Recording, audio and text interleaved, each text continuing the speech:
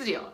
Talent agents are there for one thing. It is to negotiate contracts for their talent. That's it. And a lot of times, big wig casting directors will send work out only to agencies. They will not put them out on other casting sites for everybody to see and for actors to self submit or models to self submit because they just get so bombarded, all right? And they're really big popular projects. And with technology being what it is today, casting directors are overwhelmed. They used to maybe get 100 people show up for an audition, but now anyone and everyone can submit a self tape, right? Or submit photos digitally.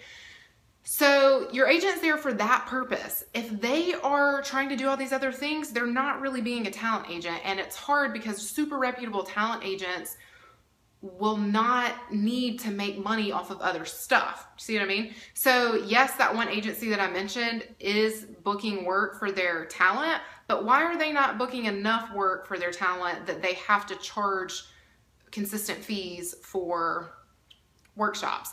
And talent agents are not supposed to be acting coaches, and they should not be working deals with acting coaches and photographers to come in and then they take a cut of it. That's not okay.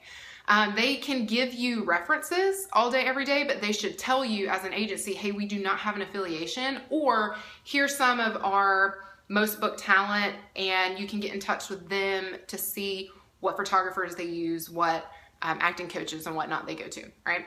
So mark off anyone and everyone. You can see I'm really passionate about it. Do not even mess with an agency that charges you fees up front. If they get the fee directly for anything or there's a consistent fee being charged that is not from your paycheck from work that they negotiated for you, get away, run away.